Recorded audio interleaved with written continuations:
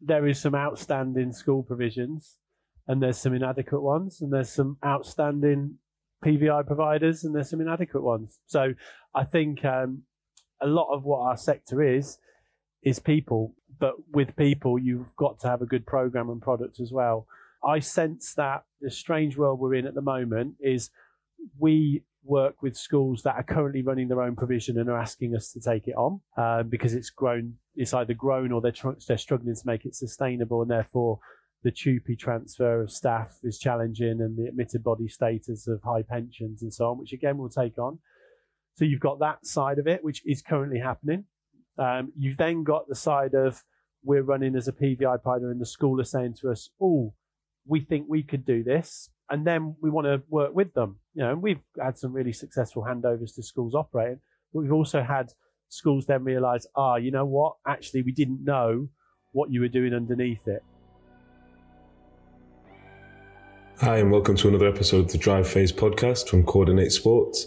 This is your show about sports founders, leaders, and experts, and the stories behind their business journeys.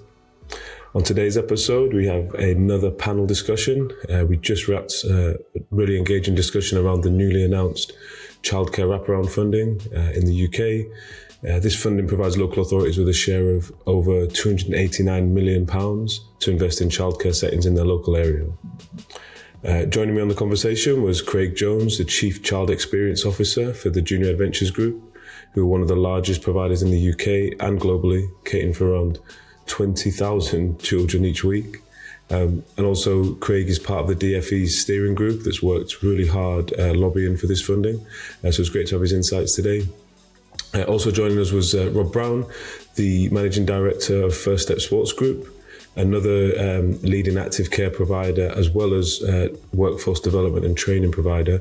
Um, so Rob was um, providing his insight into into what's it what it's going to actually take for providers um, to gear up in the sector to be able to meet demand, uh, which is sure to be coming down the line in, in September. Uh, and also Andrew Hicks, our new UK managing director, joined us um, just to talk about how um, Coordinate Sport as a SaaS provider, software provider, um, are gearing up or tailoring our offering to make sure that we can provide local authorities, schools, and activity providers with with kind of the, the back office support and systems that they require to be able to deliver a great service uh, and meet the requirements of the funding as well as uh, the demand for, for wraparound childcare that exists already.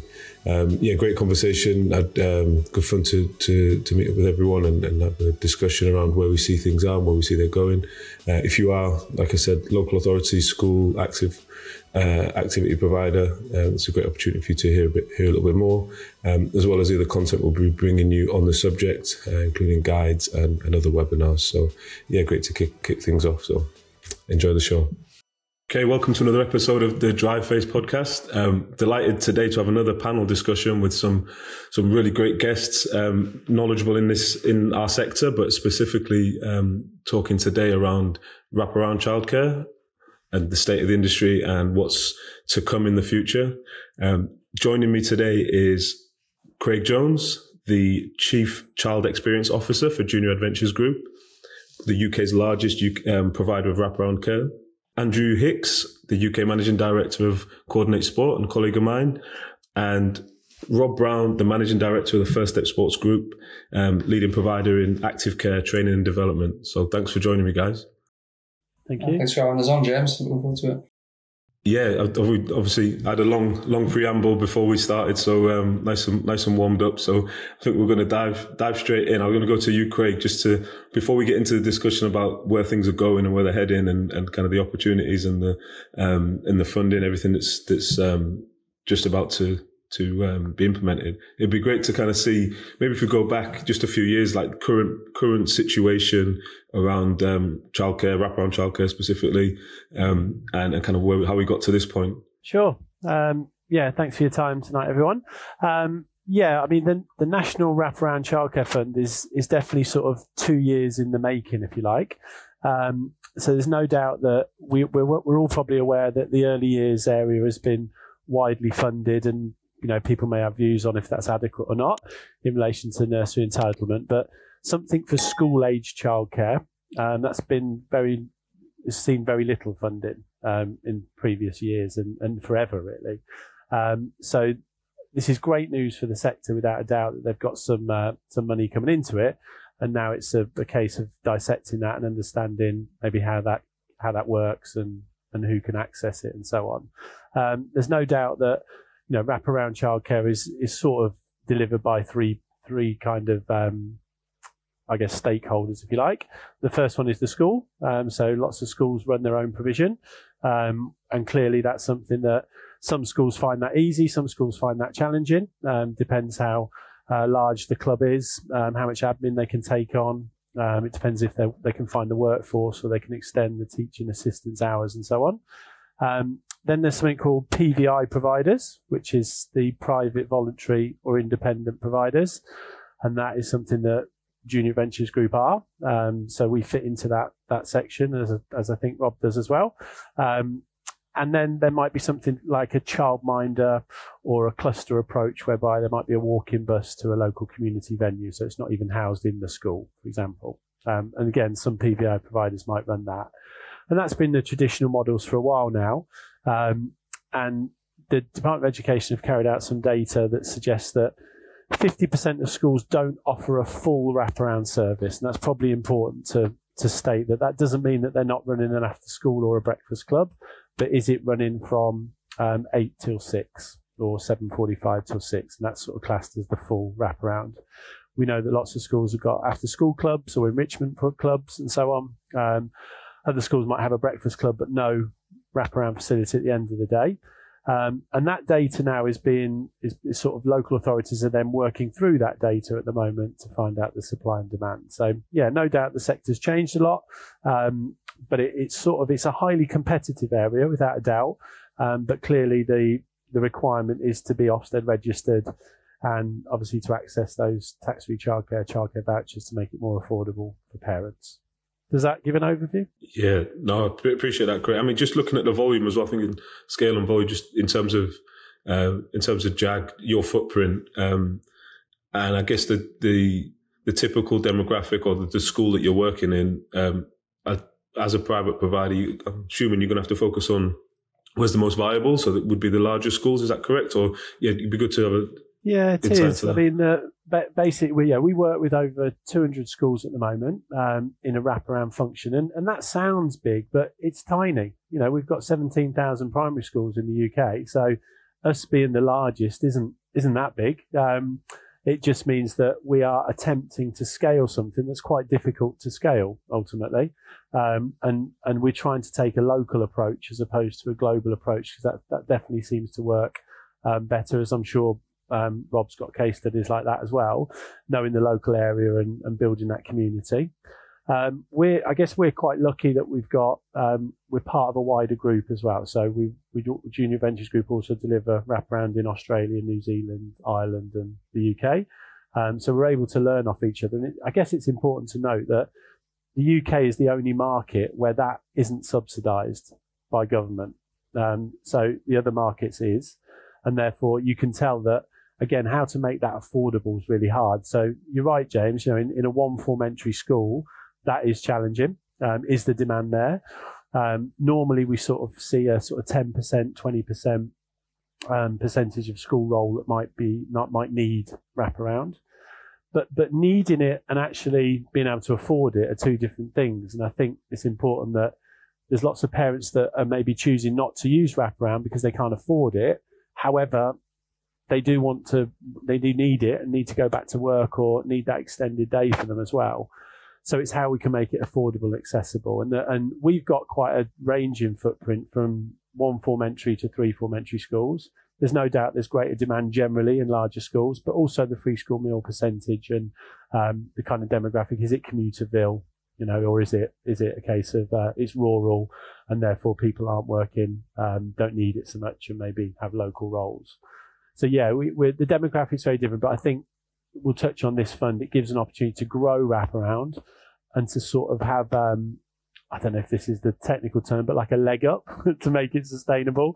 So you can start it and then build the demand as you go, as opposed to needing to get 15 to 20 children straight away, which again, needs to build because children need to understand it's a good experience and they get benefits from it and the families benefit from it as well. Definitely going to um, circle back and really dive into the funding. But you mentioned there about scaling and the challenges. Um, just like you said, you're a large provider, but just really scratching the surface uh, in terms of the, the, actual demand is. Rob, I'm going to throw it to you in terms of like looking at looking at some of those challenges to scale. I know specifically speaking to the private providers or the, the sports coaching, typical sports coaching um, providers that we all kind of work with day in, day out.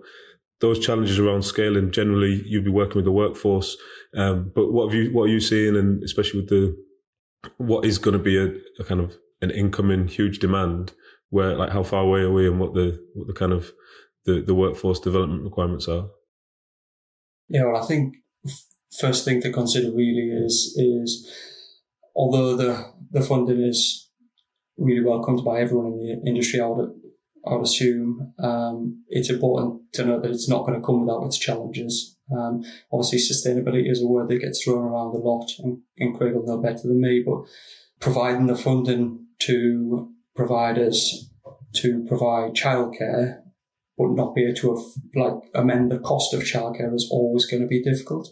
Um, I think the approaches that councils take as well. We've had a number of discussions with our local councils recently, and they seem to be of the opinion where that they're doing all their surveys currently to see what the demand is for childcare. But actually, really, I think part of, from what I understood the government announcement to be, is that we should be looking to oversubscribe or over provide childcare to then convince parents that using childcare is a viable option for them so that it can work. Because I think a lot of parents right now are in a position where they have the option to work from home, where it's not ideal having children around while they work from home, but as opposed to a cost of childcare, which can be considerable if you're doing three and four hours a day, um, it, it sometimes might be the option.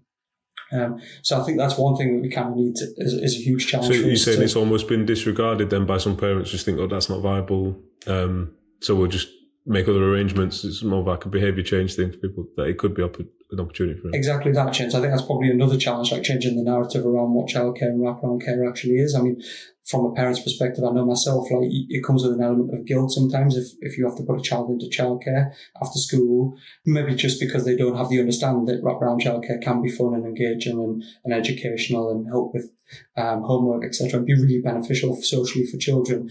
Um, and often it, like parents can have that feeling of guilt, or oh, I'm just sending them to, to wraparound care after school care so that I can work. It kind of feels a little bit selfish when, really if we can demonstrate to those parents and provide the wraparound care um, and get children in and show that they can really enjoy their time with wraparound care um, and have a great experience, that it, it kind of changes that whole narrative, uh, narrative around wraparound care moving forward. Nice. And I know in terms of um, scaling, well, we're, we're working with providers. Um, Andy, I know you'll have you'll have had a plenty of conversation. I know you've been ongoing conversations with our um, our partners around obviously where we sit in, in terms of systems and um, and operations and kind of trying to streamline that. Um, it could be that if um, I guess you'll be able to elaborate more, but that if there's not a robust system in place, it could just be, be an additional admin nightmare. If you know what I mean, to to be able to manage this. Yeah, well, I th- look, I think we've already heard that it's a complex thing, right? I think the you know whether whether it's access to the funding or then getting towards delivery, it's not easy. Um, our job at Coordinate is to try and make the delivery part as easy as possible. Um, we were very quick to adapt our platform for the HAF reporting for the free school meal reporting, which is usually successful, which is something that everyone needed. There, when when activity providers were given funding, they had to report on that funding in a particular way. And we incorporated that into our platform, and that's currently what we're looking at. Uh, also, sort of PDF printable invoices as well.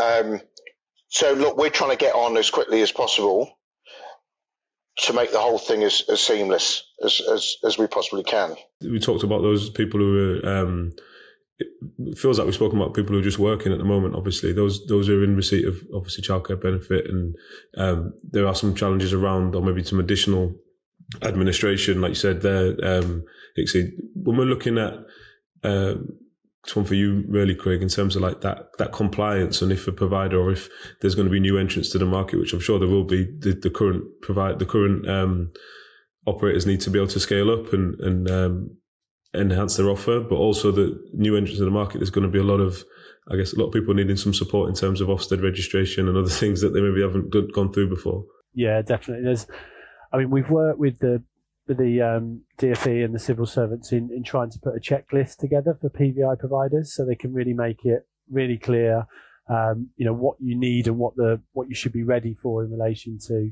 um, being a PVI provider for wraparound. And clearly, being Ofsted registered is one because part of this fund is making it accessible and affordable for parents. And as Rob said, that is a, that is a challenge. And therefore, being Ofsted registered, at least it opens the door to universal credit, to tax-free childcare and, and to vouchers and can help with, with payments for parents.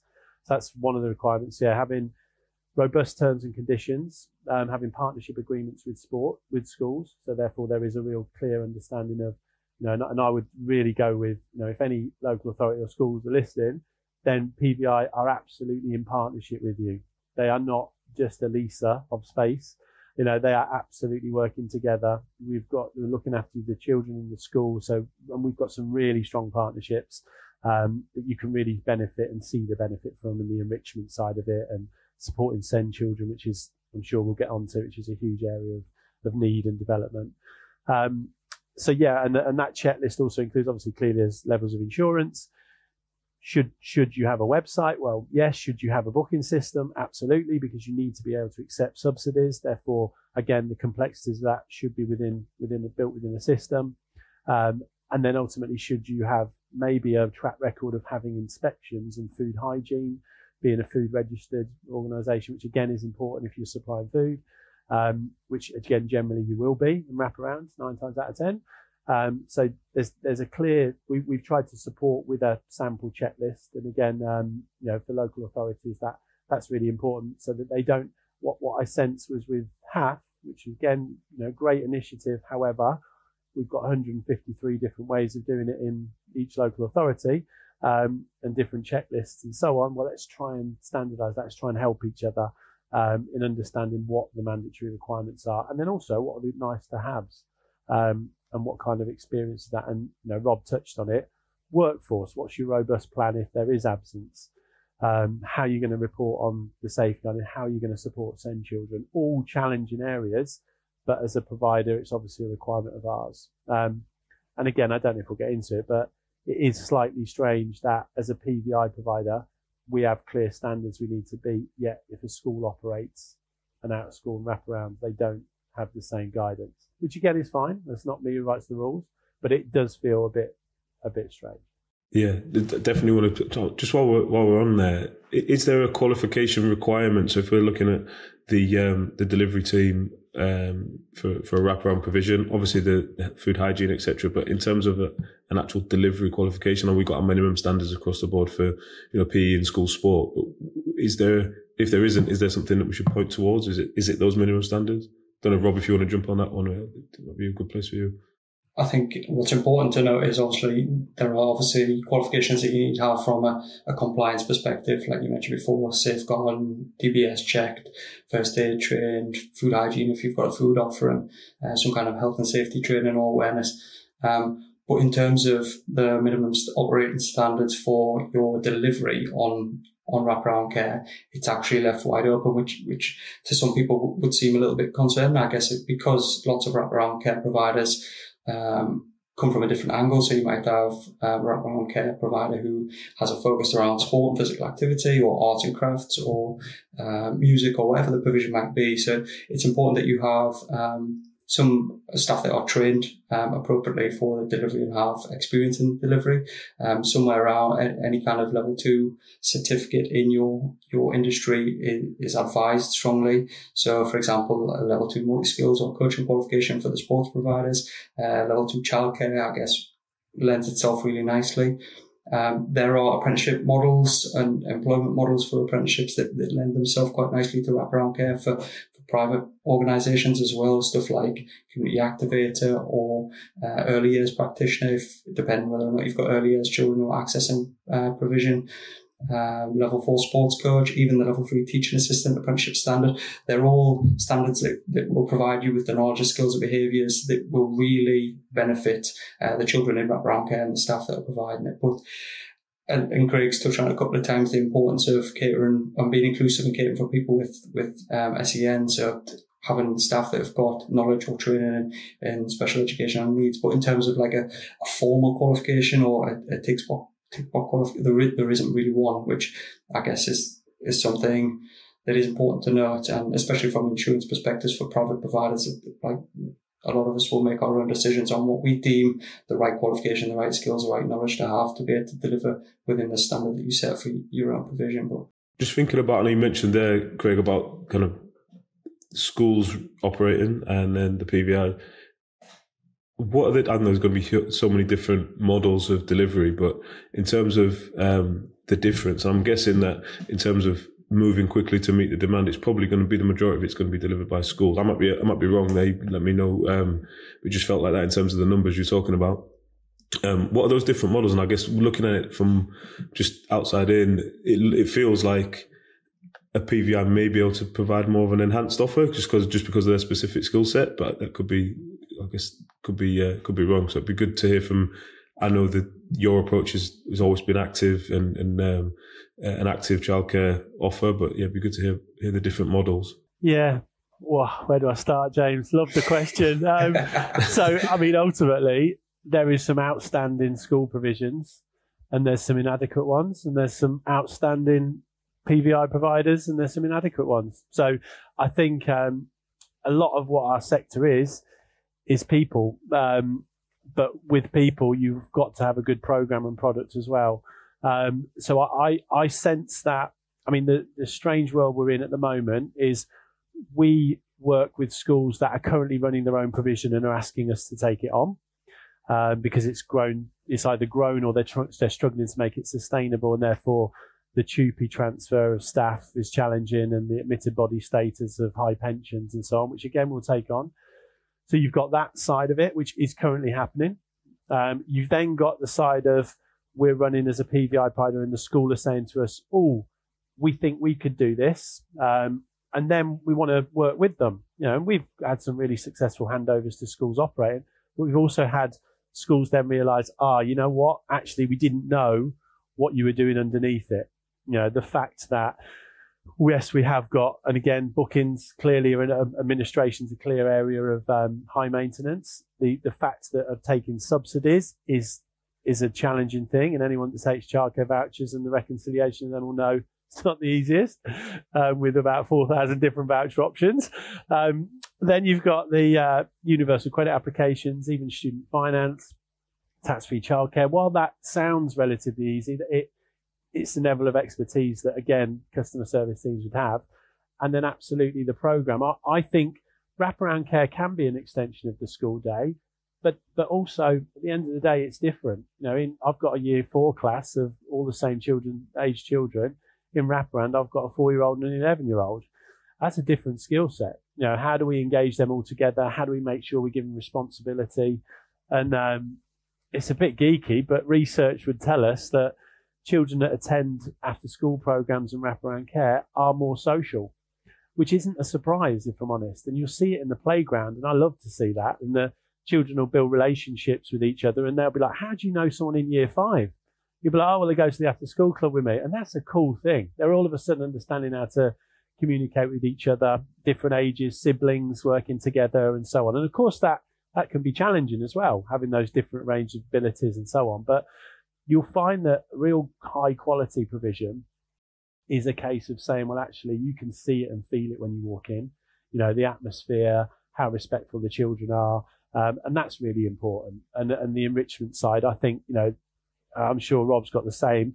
Our program is pretty extensive. You know, we call it our adventure program and the fact we've got children carrying out children's meetings weekly. We've got weekly planners in, in place. It's, it's a, it's a skill. It's not a we'll rock up and put some board games out, and there you go. And and you know, I've I don't know if it's a privileged position, but I've met with a fair few ministers and know spoken to Labour about their breakfast club um, future sort of manifesto, which sounds really great. Free breakfast clubs everywhere. Um, but what is that? Is that 100 children in a school hall waiting for a bagel? I don't know. If it is, I'm not totally sure that's what we really need. Um, we want some great quality activities to engage people. And that's hard. Don't get me wrong. It's hard to retain people. It's hard to develop them. But yeah, I feel like I'm on my soapbox, but ultimately, yes, we, we've got everything from working with schools to bring provision back to PVI providers. We've got schools asking for more revenue from us, um, which is understandable because the schools are under pressure um, financially. Um, but ultimately, it's the parent that is going to have to pay. And therefore, while this fund is fantastic, we're big advocates of actually reform and having some universal funding model for parents as opposed to for providers or for local authorities. And don't get me wrong, this is great that money's coming into the sector. But again, how we use it to Rob's point and make it sustainable is going to be really important. Yeah, and that, that school's been under pressure. Obviously, it's a running theme. Well, it has been a running theme last decade or maybe longer than that. But Rob, I know in terms of the way you run your program, I know it's different in different schools, but that opportunity for um, schools to make revenue, obviously from the hire facilities, but also the savings around their the the spend on after school programming as well. I don't know if you want to touch on that in terms of how you how you operate things there. Yeah, exactly that. And I guess that's one of the benefits of, of using a, a private uh, provider to come in and do wraparound care. Craig mentioned some of the, the, benefits before and or some of the, the headaches really that come with wraparound care for schools. Uh, with regards to administration tasks, booking systems, uh, resources, that kind of stuff. So to be able to I guess offload that onto a private provider that you can trust to, to provide quality childcare is great. And then obviously the income for facility hire, if if the program is sustainable and, and making enough revenue, is always going to be an added bonus for, for schools. And then being able to, um, I guess, just facilitate the Ofsted inspection rather than be be a, a, focused Ofsted inspection on, on the school is, is a positive as well for them. So there's like loads of benefits to be able to use a, a private provider. And Craig mentioned before, like it, it's not just a case of rocking up with a few board games. We've got some specific skills um, in the private providers that, that schools who are just using teaching assistants or um, teachers who, who might not necessarily always want to be there um, can't like can't provide. So I guess um, yeah, there's, there's, tons of bonuses to using a private provider in that respect. Andy, I know we're working hard on the reporting aspect as well. Um, Craig, you're working on a few partnerships at the moment, Andy, where Craig mentioned those childcare vouchers, the kind of dreaded uh, reconciliation of, of all the all of the different different funders. So it might be good to if you want to touch on that, what we're doing from a coordinate perspective. Yeah, look, I think um, we, we've I've already touched on it. Is that our our whole mission, the whole reason why Coordinate exists, and the whole reason we were founded was to to make the participation in, in any sort of activity easier. And, and we've already we've already heard even before we get anywhere near a sports hall, it's it's complex, right? Um, and I think we're very much of the opinion now that look, we, we started off life as a, as a booking system. That's that's what we were. Uh, we are a hell of a lot more than that now we we tend to be a one stop shop. However, there are certain aspects of certainly voucher payments that Craig's already touched on where there are some specific providers in the market that do that, and we are looking at some some integration with those partners to make the whole thing easier. We, I think, um, we're, we're not going to try and be everything to everyone within our, our little sphere of booking and administration then we are a lot of things to many people. But I think with the complexity around the, the voucher payments, we're, we're certainly looking at some really, really interesting partnerships that will just save a huge amount of time, a huge amount of administration, and, and and get people back coaching, get people back engaging with the children rather than a, a whole load of administration work. James, I don't know if it helps, but you know, we and I, I don't know if Rob's had this, but we um, clearly wraparound care is also can be great for supporting vulnerable children um, that need extended care, that need that respite, that need the, the level of support.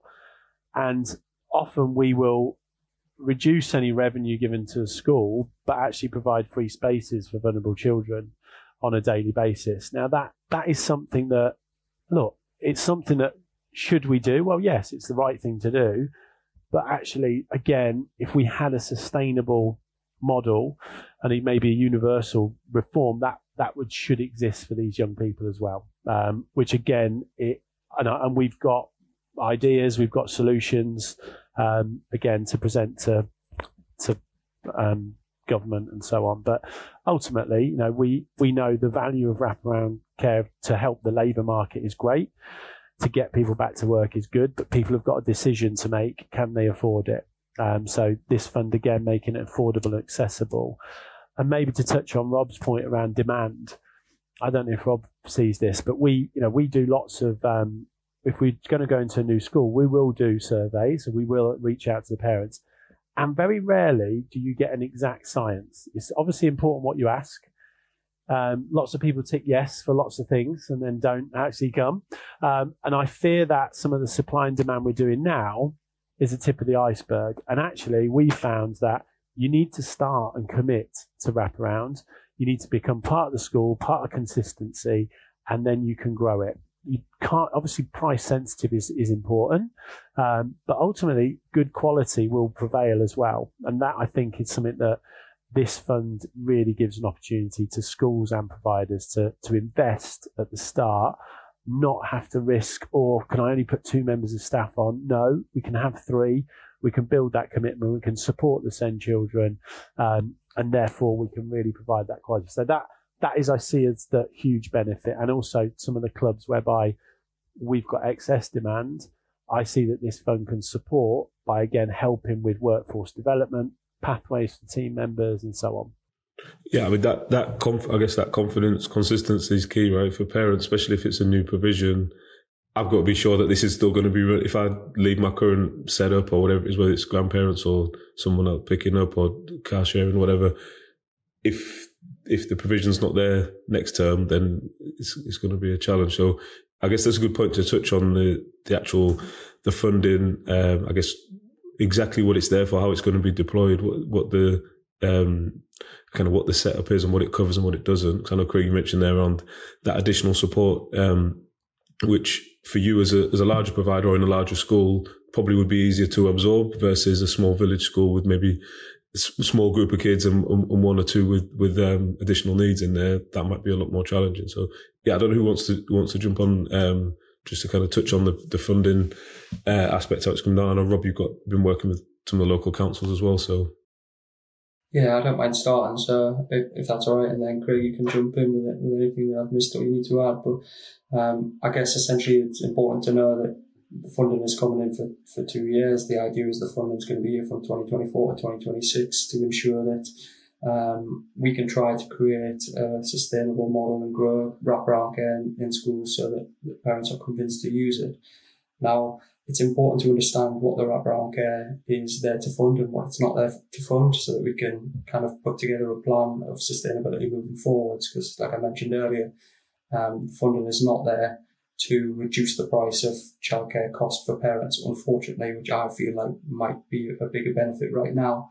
Um, funding is there to, or the program funding as it is, is there to uh, kind of bridge the gap until you can convince parents that wraparound care is a, a viable option, basically. So if you're working in a school where they are a relatively small school, one form entry, and they've only they've got a, a small wraparound care offer, it's often really difficult to find a sustainable model for delivery for that. So what they're saying is once you find the sustainable um, price around that that wraparound care, um, funding is there to kind of bridge that gap until you can convince enough parents that wraparound care is a, is a good option to use. Now there is additional funding, capital funding, which can be used to um, buy asset, assets basically or invest in programs. So if you, you need to, and I guess this is probably for, for larger schools that maybe need to increase their around care offer because they, they haven't got enough capacity to, to offer enough places for the demand that's there, which I guess is probably a great place to start.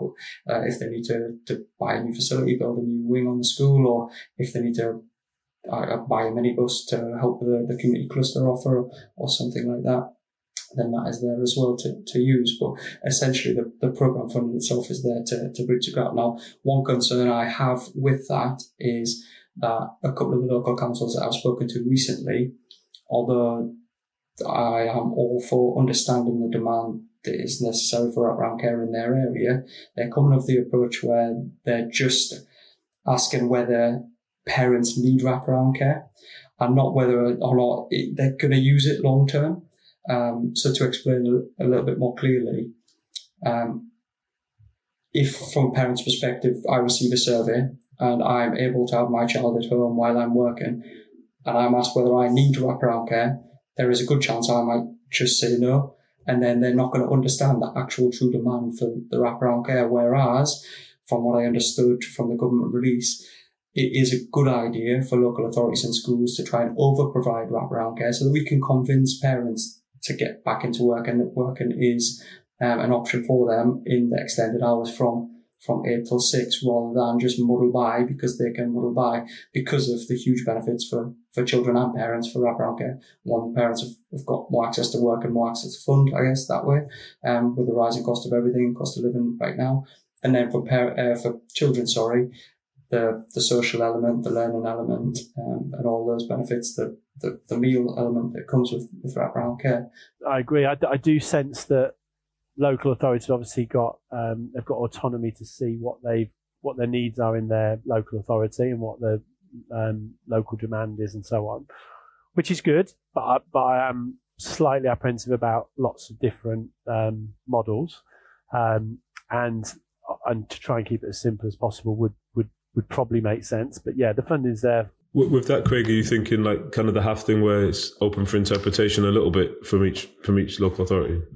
Yeah, I think so. Yeah, look, it, and I think um, even if you you you know we a local authority's got to complete a delivery plan. That delivery and they've got some templates and the the delivery partners childcare works and they're supporting that, um, which again is is positive. But I think that if we can learn from anything, any kind of guidance is interpretation, and we can learn from COVID in regards to that respect, aren't we? That we all read something and interpret a different way, and actually to make anything scalable and sustainable, sometimes it's the clearer the guidance, the better. And um, you know, the P. It's great that the PVIs are really clearly mentioned in the guidance. I think that's fantastic. Um, but the but how the funding can be sourced and applied for is still unsure. Are schools applying for it? Are PVI providers applying for it? Um, some local authorities will take a different view, and I, I actually don't know. Bearing in mind, we but we don't know. Um, Rob, I don't know if you've got any insight, but it doesn't. It's we're uncertain in some of the local authorities we're working with.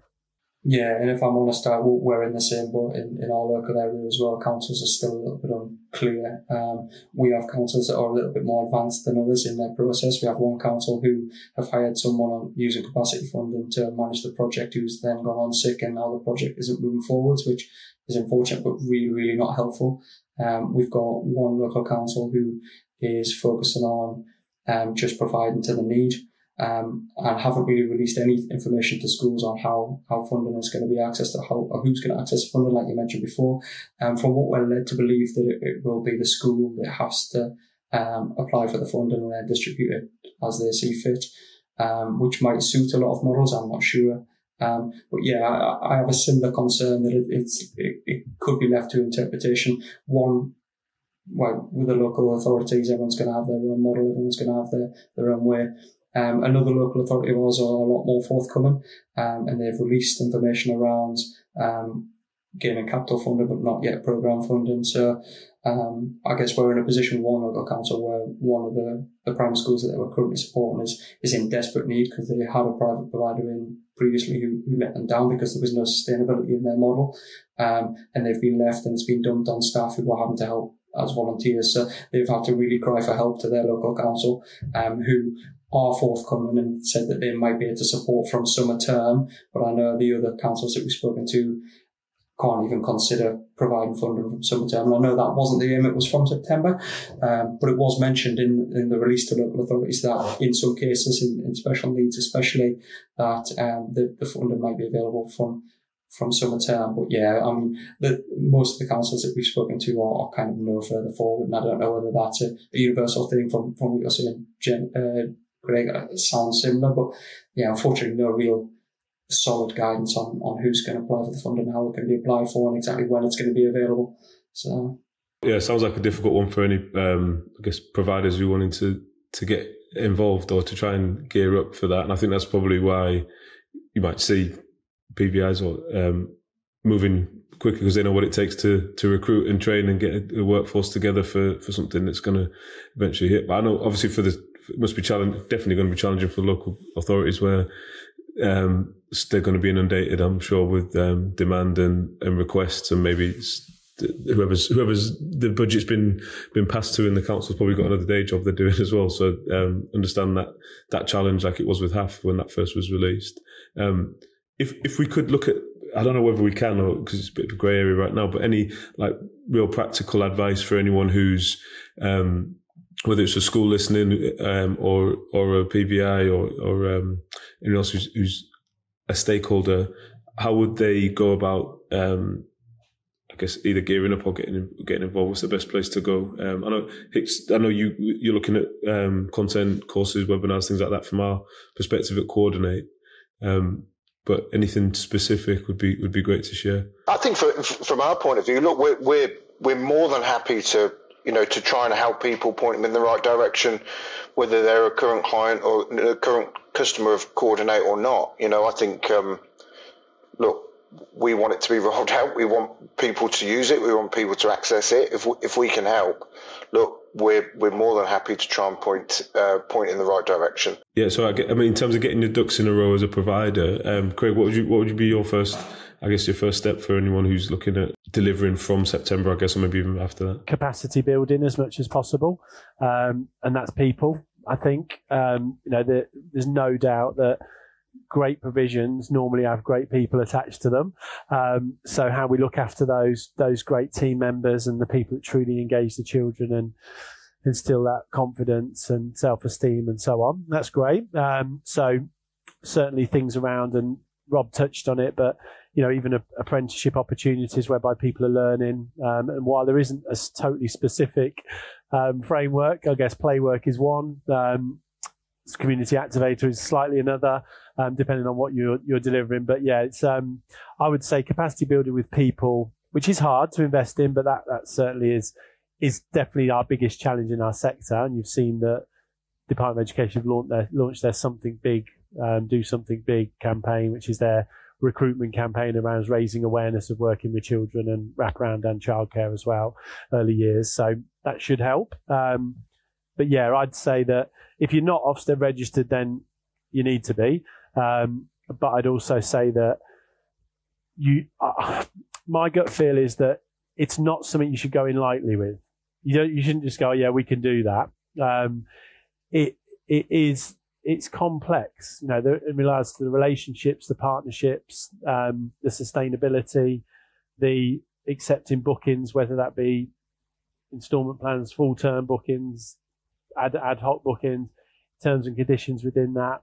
Um, and, I, and I'd say that, you know, build out a plan. Um, but ultimately, I think existing providers are probably well placed because they can mobilize quicker. And I think to Rob's point, new provision in September and some potential support in the summer term, we need to move quickly. Therefore, existing provision and capacity building our people is is probably the best. And I, guess people people who are, who are already Ofsted registered, maybe just for holiday provision, if this if it's something they've got capacity to move into, they'd probably be better placed than others because they they kind of know the Ofsted requirements to a certain extent, obviously for holiday. Yeah, they do. Yeah, and then you know there there is some schools will want an early years area for their wraparound, so they'll want the reception nursery children to be catered for.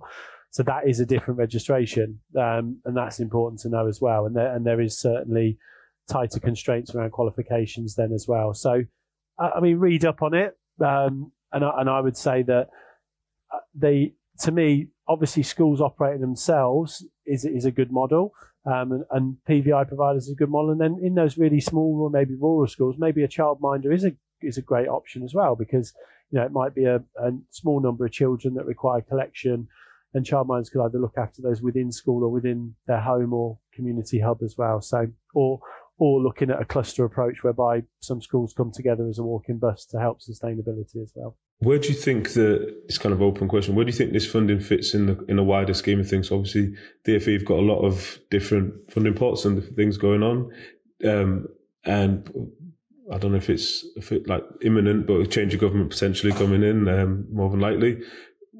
With all the funding, especially specifically talking to the to kind of our niche and our um, our sector, whereby there's question marks around funding that's coming to an end or potentially coming to an end or has thought was coming to an end for years, like PE premium, uh, pupil premium, obviously, HAF, all those, all those different funding pots.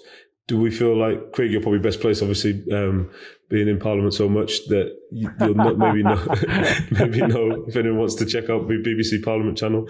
Um, you might know you might know um, what the direction of travel is a little bit for, or maybe you don't. But it just it seems that a lot of providers might think that's where we should shift our focus. Whereas before, maybe you go 10, 10 15 years back, it was PE premium, whatever. So it's kind of um, be good to get your insight on that one.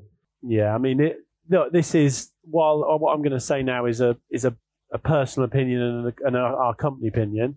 I do sense that there's quite a lot of backing, and we've started to speak with other PVI providers, and it seems like this is a sensible approach. But I think for too long we've looked in silo my child requires care in holidays. My child requires care in school term time. My child is a free school meal child, therefore needs care. My, we earn less than 100k, therefore we've got a tax-free childcare. It's confusing. Who needs care for? Generally, the children that need care in the holidays will need care in the term time as well. So having a full year service and having that universal model, aka like other countries, it does seem to make sense. Um, and clearly that should be based on earnings. And, you know, the, um, so we want that leveling up agenda to, to be really important. We want to make sure that the currently the disparity between low socioeconomic children and young people is leveled up. And this could help that. You know, if, if we've got a childcare fund that is related to your earnings, then naturally, um, you can help people get back to work at that level of enrichment there for everyone every child, every opportunity is what we're saying. Um, and, it, and if you, you know, it's a bit geeky, but if you add up HAF funding plus national wraparound childcare funding plus tax-free childcare funding, what's available, and you wrap all that up into 984 million, it's a lot of money. Then you put that into a different model that actually is based on earnings. You could spend less and have more impact. Um, and it's something that we are championing at the moment, and we are asking people to support us. And it's not, we're not being confrontational. We want to support and help. We really think that it works in other countries. It's more accessible. It's more affordable. It's simple to understand. Um, at the moment, I'm not sure it is for parents. You know, oh, they, they parents aren't going to understand what the National Wraparound Childcare Fund is. They're actually not going to. They're not. They, they can understand that it's trying to create more spaces and access to. To Rob's point, it's not being able to be used to subsidize spaces. Um, however, in a sort of way it is if you're opening the site and having a lower fee and then it's growing. But again, it's how you interpret that. So yeah, we, we think that we can reform school age childcare across the 50, 52 weeks of the year and really have it based on family earnings and therefore help level up children. Yeah, look, that's definitely going to take everyone coming together. Um, guys, appreciate your time. I know in terms of anyone reaching out after the um, after listening, um, Hixie, I'm sure we're going to have a lot on the on the resources area, continuing with guides, um, content like this. Um, if anyone wants to reach out to to Rob um, just regarding training, or if they're looking at building up their workforce, or or Craig, I know we've got the white paper and other things that we're going to link into um, into the show notes. So yeah, um, I'm sure there's there's a massive requirement for guidance and, and support around it for, for providers and, and schools. So um, appreciate you sharing and uh, yeah, we've been enjoyed it. Thanks, guys. Yeah, thank you very much for your time. Appreciate it. Thanks for your time. Have a good Thank night, you. Rob. Yeah, Bye. Thanks, everyone. Yeah. Thanks, Craig. Bye. Thanks, Rob.